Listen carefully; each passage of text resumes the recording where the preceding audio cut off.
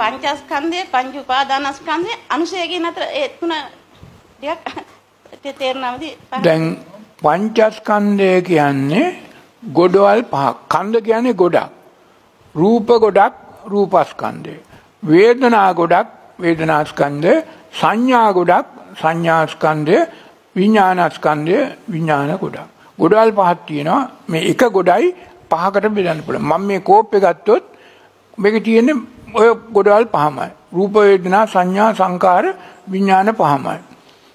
මේක මේ රූප මම කොට මගේ කොට උපාදානය කරගත්තොත්. මගේ අයිතියට සන්තකයට පාලනයට රිසිසේ මනාපසේ පවත්වන්න පුළුවන් කියලා නවත්තන්න පුළුවන් කියලා ගත්තොත් ඒ රූප කොට රූප උපාදානස්කන්ධය වෙනවා. ඒ වේදනා කොට වේදනා උපාදානස්කන්ධය වෙනවා. ඒ සංඥා උපාදානය කරගන්න. ඒ සංකාර උපාදානය කරගන්නවා ඒ විඥාන පහම එකටම උපාදානය. එතකොට උපාදානයයි නරක පංචස්කන්ධය නරක නෑ. බුදුහාමුදුරුවොත් අරහතුන් වහන්සේත් මේ පංචස්කන්ධයම භාවිතා කරනවා කළ යුතුයි. ජීවත් වෙනවා නම් බුදුහාමුදුරන්ට දැන් හුස්ම ගත්තොත් මොනවද ගන්නෙ? අර රූපස්කන්ධය. රූප කියන්නේ ආපෝ තේජෝ ආයෝ පඨවි මහා භූත හතර. වතුර බිව්වොත් මොනවද කරන්නේ? පංචස්කන්ධය පරිහරණය කරනවා. කෑම කෑවොත් දානි ගත්තොත් ඇඳුම් ඇඳොත් සිවුරු ඇඳොත් මේ පරිහරණය කරොත් යමක් බේත් තේත් ගත්තොත් ඒ සියලු දේ පරිහරණය කළොත් පංචස්කන්ධය පරිහරණය හැබැයි උපාදානය කරගන්නේ පෘථග්ජන පුද්ගලයෝ මේ පංචස්කන්ධය පරිහරණය කරන්නේ උපාදානය කරගෙන තණ්හාවෙන් මගේ කොට මම කොට එකතු කරලා බදාගෙන අල්ලාගෙන අයිති කරගෙන වෙන් කරගෙන කොටු කරගෙන කණ්ඩි දාලා කම්බි ගහලා මගේ ඊටම මගේගේ වෙන් කරගන්න. නමුත් ආර්ය ශ්‍රාවකයෙක් ඒව පරිහරණය කරනවා ඒ උපාදානය කරගන්නේ නැහැ.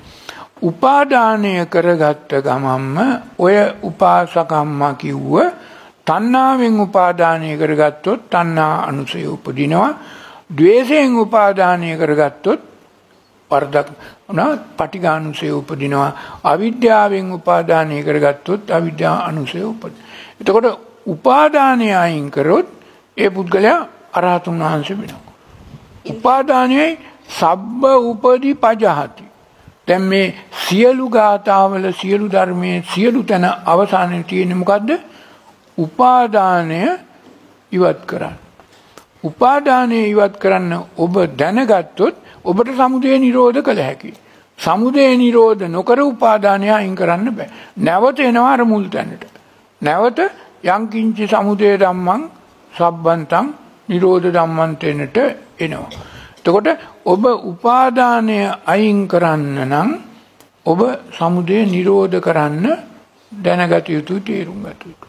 එතෙන්ට આવොත් ඔබ උපාදානයෙන් තොරව පංචස්කන්ධයම පරිහරණය කරනවා පංචස්කන්ධය පරිහරණය නොකර අරහතුන් වහන්සේ කෙනෙකුට බුදු කෙනෙකුට පසේ බුදු කෙනෙකුට කාටවත් ජීවත් වෙන්න බෑ මොහොතක්. හුස්ම ගන්නවනේ. වතුර බොනවනේ. කෑම කනවනේ. සිවුරක් ඇඳගෙන ඉන්නවනේ. ඒ ඔක්කොම අර පංචස්කන්ධයට අයිති.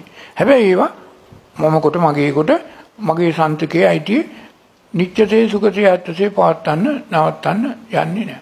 සමුදය නිරෝධ කරනවා. ඒක නිසා මේක තේරුම් ගත්තොත් ඔබ ධර්මයේ දන්නා පුද්ගලයෙක් සමුදය නිරෝධ කිරීම කළ යුතුයි කළ හැකි ඊට මගක් තියනවා කියන එක ඔබ නොදන්නවා නම් ඔබ බෞද්ධයෙක් නෙමෙයි. ඉන්දියන් සමගත් ඒක අයි ඉන්දියන් වලට ඇසකන තියෙන ආසෙක ඉන්දියන් වලටත් ඒවා සම්බන්ධයි. ඔව් ඉන්ද්‍රිය නැතුව උපාදානය කරගන්න බෑනේ. ඇහැට රූප උරා බොනවා. කනෙන් ශබ්ද රූප උරා බොනවා.